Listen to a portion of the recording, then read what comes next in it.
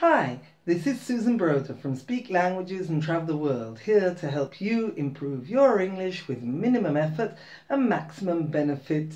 And today I want to know if you know how to pronounce the word I R O N.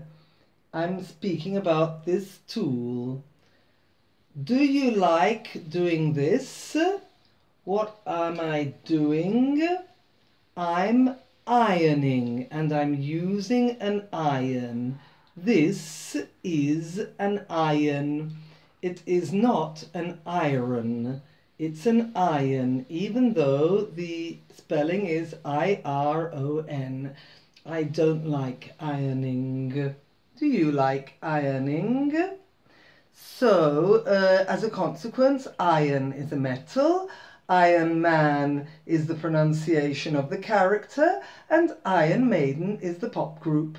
I hope this was useful for you. See you again in the next video. Bye!